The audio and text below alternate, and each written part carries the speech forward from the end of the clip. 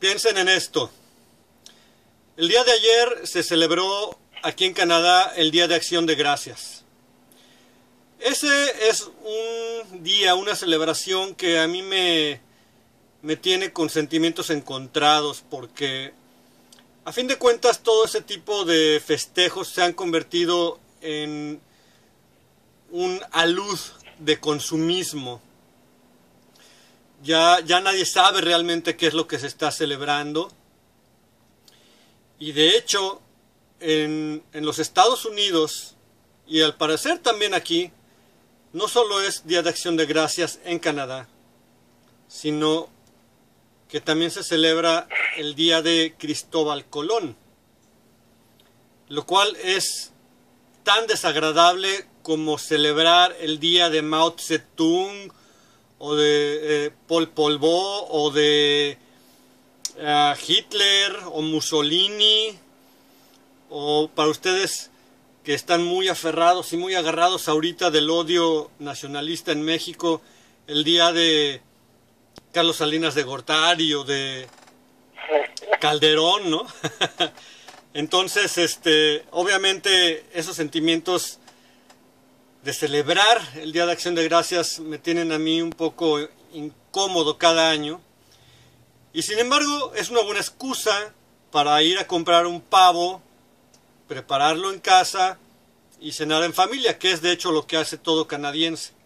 En Estados Unidos se celebra en otras fechas, más, más adelante en noviembre me parece. Y pues ayer hice pavo y ayer estuve con mis hijos ya no es ningún secreto. Este, ayer también fue cumpleaños de, de mi hijo pequeño. Y como digo, no es ningún secreto, ya en unas cuantas horas mis hijos parten muy lejos para siempre, muy muy lejos de mí, a miles de kilómetros. Eso me tiene muy triste, pero así es la vida, hay que seguir adelante. Es por su bien, es por el bien de todos, es por el crecimiento de la familia, de hecho. Así que no hay, no hay, eh, no hay hard feelings, como se dice en inglés. Así que me mantengo ocupado y de hecho por eso, todo, todo este, estos tres minutos casi de introducción, la, la estoy dando a ustedes porque ayer se supone que era el día de los cortos temáticos de nuestro amigo Carlos Flores, pero por todo eso que sucedió ayer, obviamente no tuve ni un instante porque quería estar con mis hijos en todo momento. Pero aquí lo tenemos, aquí lo tenemos ya. ¿Cómo estás, Carlos? Muy bien, Juanito, muy bien. ¿Tú qué tal? Ya te escucho medio tristón, hombre. Sí, pues aquí aguantándola. pues sí, pues sí. ¿Ya qué, verdad? Sí, sí, sí. Hay veces que es muy duro, pero no hay otra, ¿no? Totalmente, totalmente. Es por el bien por el bien de todos, pero este, somos humanos y no podemos evitar la tristeza, aunque hay que hacer de tripas corazón. Así es, así es. Estamos también entusiasmados porque ya vimos que es la tercera parte de tu último corto temático, así que te vamos a dar ya el espacio para que lo leas y vamos a tener varias cosas eh, para comentar después de tu lectura. Adelante, Carlitos. Cómo no, Juanito, muchas gracias. ¿Cómo evitar el tedio? Tercera parte. La mentira crónica como sustituto de la historia. Una de las razones por las que los aztecas, con Moctezuma II como su representante, se entregaran a Cortés, fuera de la palabra empeñada como acto de fe, los originarios hacían sus tratos de una manera abierta y no se esperaba que la contraparte actuara de mala fe. Esto es de la conquista de América de Svetan Todorov. Hoy se diría que eran una manga de ingenuos, pero ¿no es la mentira la negación de la realidad? ¿La negación de lo evidente ante el hecho presente o pasado y la dislocación del futuro? El desvirtuar en un acto de prestidigitación psicológica lo que está de manera contundente frente a nuestros sentidos, nuestro intelecto y nuestro espíritu, no constituye una acción enferma, ventajosa y por lo mismo reprobable en términos de ética? Pero, ¿cabe la ética en una relación con seres a los que no se les conceden las mismas características? Las patologías se, se derivan de tomar por cierto lo que no es. Esto constituye el fundamento de la esquizofrenia paranoide. Si y si cotidianamente una de las partes miente y la otra la toma como verdad, no estamos ante una sociedad enferma que requiere, requiere de una terapia urgente. La prueba es que la mayoría de los que lo pudieran saber no creen que los afecte por el simple hecho de una aceptación intelectual al participar ellos mismos del engaño, sea como fraudulentos o como imbéciles consagrados. El segmento más grande de la interacción que realizamos cotidianamente contiene mentira, en la escuela, en el trabajo, en la calle, en la familia, con nuestros amigos, nuestros padres e hijos. Se evita el hablar de uno mismo, de nuestros sentimientos confusos, pensamientos inquietantes, dificultades. También de los logros reales ante, ante quienes deberíamos tener confianza. ¿No es la omisión un pecado por ausencia? ¿Y qué es el pecado? Aquello que atenta contra mí mismo. ¿Y por qué lo llevo a cabo? Porque las puertas de la mentira que la mentira abre son más atractivas que las de la realidad pues suponen carencia de compromiso. Y es más cómodo estar, entre comillas, bien con quienes están a mi alrededor, aunque me haga daño. La radio miente, los noticieros mienten. Lo que no se presenta en televisión nunca sucedió. Crímenes, manifestaciones, éxitos de personas o sucesos de los que no quieren que nos enteremos, hasta que los averiguamos a veces por internet lo que dure su limitada autonomía. La historia no es más que una serie de mentiras lineales que tratan de presentar al mundo hoy como consecuencia de hechos que se encadenaron naturalmente y que llegaron a un estadio que se presenta como una serie lógica de eventos. Mentira. Las distorsiones de la realidad que se nos presentan como verdaderas son aceptadas como el adicto a las drogas acepta por la fuerza una realidad alterna, virtual, inexistente. La disyuntiva bueno-malo es una mentira para forzar la decisión o la asunción de hechos sobre los que creemos, porque nos fueron enseñados por autoridades y que creemos que nos corresponde una posición de participación porque así fuimos programados. En los hechos, así se ha conformado la historia, por una minoría que decide y una mayoría que aislada de sus congéneres asume las consecuencias porque, entre comillas, así son las cosas. El capitalismo es bueno, el comunismo malo. Estar integrado a cualquier secta del judaísmo, o sea, ser cristiano es bueno, ser musulmán es malo. Creer en Dios es bueno, no creer en Él es malo. Apoyar al gobierno, así sea corrupto, es bueno. Inconformarse es malo. Comportarse como los demás es bueno. Tener conductas que te diferencian es malo. Creer es bueno. Pensar es malo. La lista de dicotomías no tiene fin.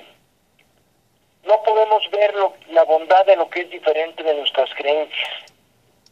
Por desgracia, para todos nosotros, nuestras creencias son certezas y el pensamiento viva. La certeza es buena y la duda mala, porque así fuimos y seremos adiestrados. Cada vez que aceptamos lo que se nos da y se nos dice como verídico, sin asomo de duda, estamos angustiando y restringiendo la, ruta sináptica neuronal, lo que representa en términos reales un alejamiento de la inteligencia y, una y un acercamiento mayor a la estupidez. Pero para conocerse necesita la información real. Leemos los hechos Leemos lo suficiente acerca de los hechos que nos confrontan con, con nuestras mentiras vitales. Esto es todo. Esto es todo, Juanito. Esto es todo, público, querido.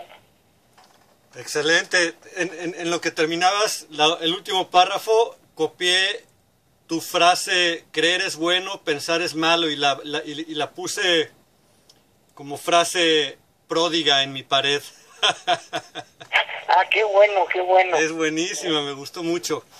Oye, fíjate que da mucho al clavo con el escándalo del segundo debate presidencial en los Estados Unidos, ese, ese circo tan, tan patético y desagradable y que de todos modos muchos estamos obligados a verlo completo.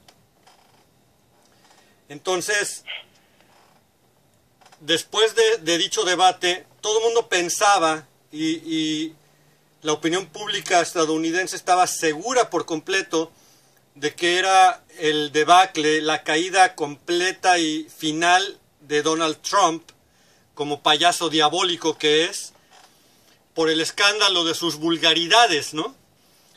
Y resulta que se le volteó por completo a Hillary Clinton su, su plan, porque más bien eh, los interesados están enfocando en, eh, las filtraciones de Wikileaks sobre los correos electrónicos de Hillary Clinton y su eh, patología al mentir. O sea, es una mentirosa patológica. Sí, sí, sí, sí. Es muy interesante porque se descubren en, este, en estas nuevas filtraciones de Julian Assange que siempre ha tenido una relación estrecha la, la, familia Clinton, Hillary Clinton y el Partido Demócrata con el mainstream media completo. Los más importantes, CNN, Fox, MSNBC, ABC, CBC, eh, CBS, perdón, CBC es de Canadá, este, a tal grado de que obviamente le dan preferencia a ella en todos sentidos y hasta se demuestra durante el debate cómo los dos payasos que están como moderadores, incluyendo Anderson Cooper, que, que es detestable, eh, dirige su ataque directo hacia, en contra de Donald Trump. Y Donald Trump... clarísimo. Sí. Y Donald Trump lo, lo, maneja a tal grado que en realidad sale completamente triunfante del debate. ¿Cómo ves? Ajá, ajá, sí, sí, sí, no. No, no, no, o sea, es una sociedad enferma, enfermísima, y somos en general ante el poder una bola de estúpidos, que no sabemos ni qué pasa, que nos creemos todo y que, que, el, peor sale mejor, ¿no? Digo, porque ninguno de los dos es bueno, aunque yo creo que Trump es peor. Con eso no estoy diciendo que si gana la otra mentirosa va a ser buena la situación. Sí, sí, sí, sí. Fíjate que yo tuve sentimientos encontrados durante el debate y de hecho aquí en casa también con mi esposa porque a pesar de la, de la extrema aberración que naturalmente siento en contra de Donald Trump, le, di la razón. Vaya, dentro del contexto de, de, esta pelea de jaula, ¿no? Ajá, claro, claro. Ándale, parece pelea de octágono, ¿no? Que se agarran con todo. Exacto, exactamente. Y, y, eso es lo que es. se muerden. Se ha convertido en un reality show literalmente, porque Donald Trump es un reality show king, ¿no? Sí, sí, claro, claro, claro. Es, una estrella del espectáculo. Es, natural, como dicen los gringos, natural. Sí. It's natural. Y fíjate, yo aquí voy a ser un poco el abogado del diablo porque yo sigo mucho eh, canales de noticias estadounidenses de izquierda, como ah. The Real News y Democracy Now, que son los más importantes y otros más, eh, digamos, más para jóvenes, por así decirlo, como The Young Turks y otros, ¿no? Y después del escándalo de las vulgaridades de Trump, se enfocan en, en hablar sobre la degradación y denigración hacia la mujer, la, la denigración sexual, ¿no? Sí, sí, sí. Y por el otro lado, los republicanos ultraconservadores, los evangelistas, también se separan de Trump inmediatamente y no pueden creer las palabras que fueron filtradas, que además fueron dichas hace casi 12 años, o sea, hace más de una década. Claro, claro, claro. Y lo triste es la hipocresía tanto de estas izquierdas como de los ultraconservadores, porque el ser humano así es, y los estadounidenses por eso tienen una sociedad tan decadente. Su sociedad está basada en la sexualidad pornográfica inmoral que ellos mismos disfrutan, y más que nadie los ultraconservadores. Está comprobadísimo, ha habido miles de casos, investigaciones periodísticas, de que son los evangelistas más conservadores, fanáticos religiosos, los que más atrocidades sexuales cometen, los que más denigran a la mujer, los que más actos homosexuales cometen. Eh, por supuesto, en este caso yo no estoy criticando la homosexualidad, yo no, para mí la homosexualidad no significa nada, pero ellos, ellos la critican. y esto, ¿no? Sí, ellos la critican, la atacan y la tienen dentro de sí mismos, ¿no? Entonces, es verdaderamente un caldo de revoltijo, de hipocresía, porque quieren sacar correas del cuero viejo cuando ya no se puede. Atacar a Trump de esa manera es ridículo, como si no supieran que absolutamente toda la élite de la farándula y toda la élite política y toda la élite empresarial de los Estados Unidos son exactamente iguales, adictos al sexo, al sexo con poder y por poder, adictos a la cocaína, adictos al alcohol, básicamente en pocas palabras, adictos al poder. Así es. ¿Cómo ves tú, Carlitos? No, sí, sí, sí, sí, es, es ridículo, realmente es ridículo lo que estamos viviendo en general. Es una cuestión sobre la que de plano a veces no se puede ya ni, opinar porque porque no sabes con qué estupidez te van a salir. Así es. Y, además te van a echar en, en, cara y encima una bola de situaciones que son mentiras, digo, para variar, ¿no? O que, o que fueron verdad, pero ya no son, ya, no corresponden a la actualidad, ¿no?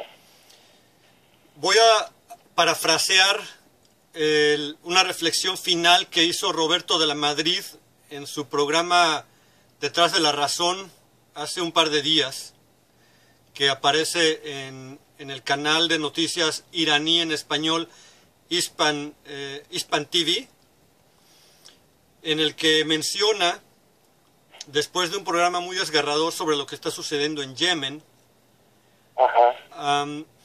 que desgraciadamente después de 7.000 años, como decir un mínimo, de evolución de nuestra civilización, lo único que hemos hecho es aprender a ser expertos en mentir y en matar.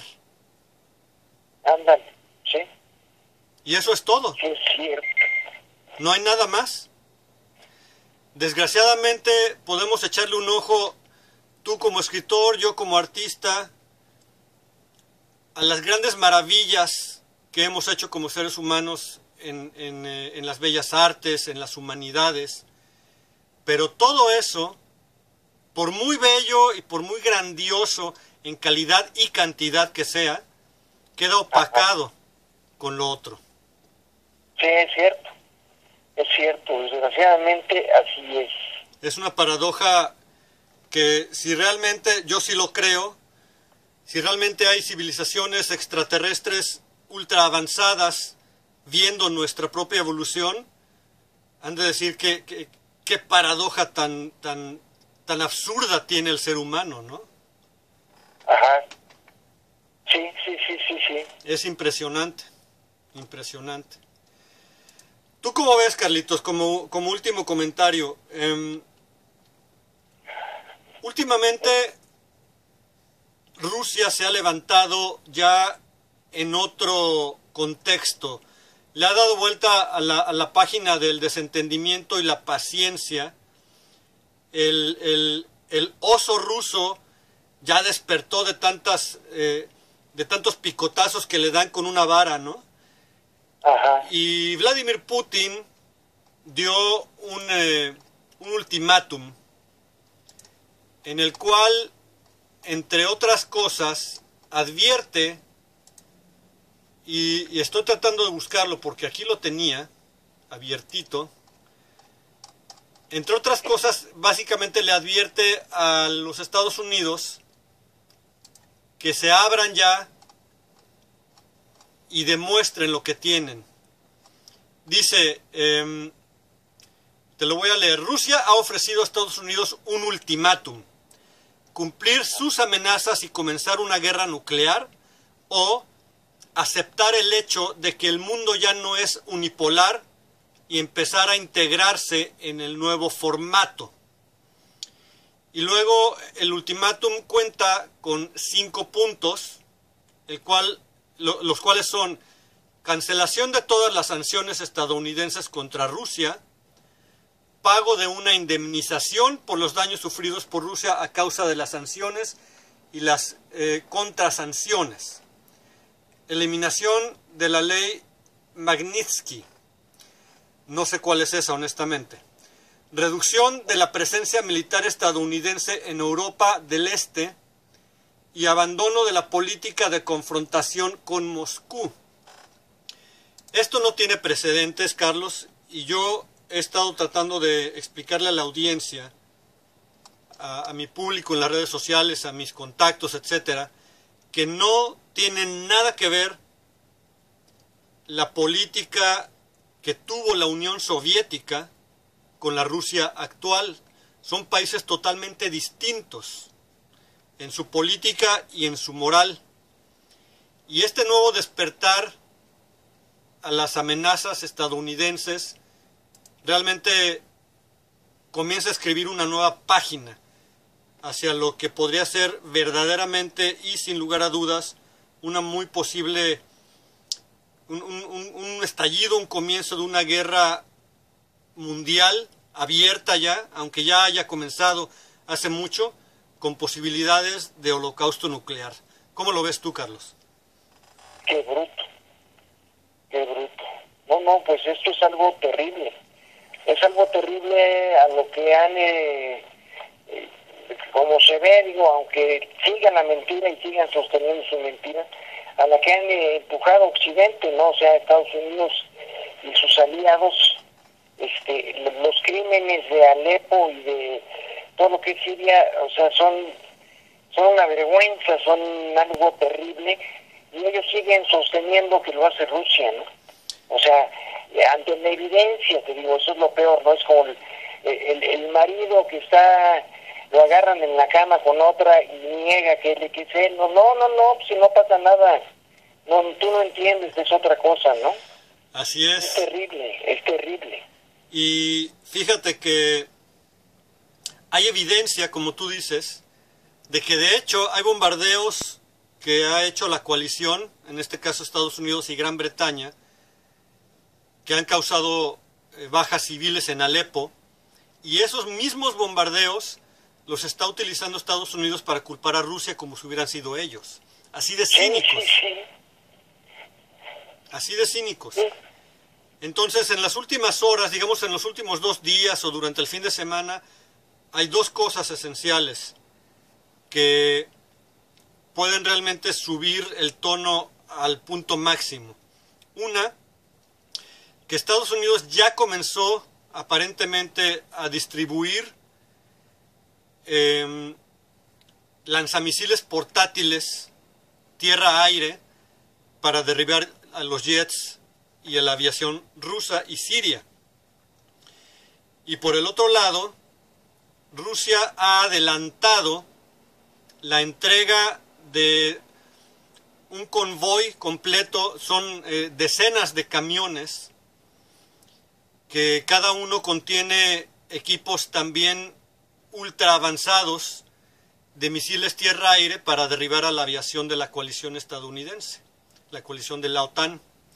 Ajá. Y de hecho Rusia ha dicho que se va a adelantar y no va a esperar a que Siria pague este, este pedido, este, esta entrega de, de armamento, que se lo va a dar así por los intereses logísticos que esto conlleva, ¿no?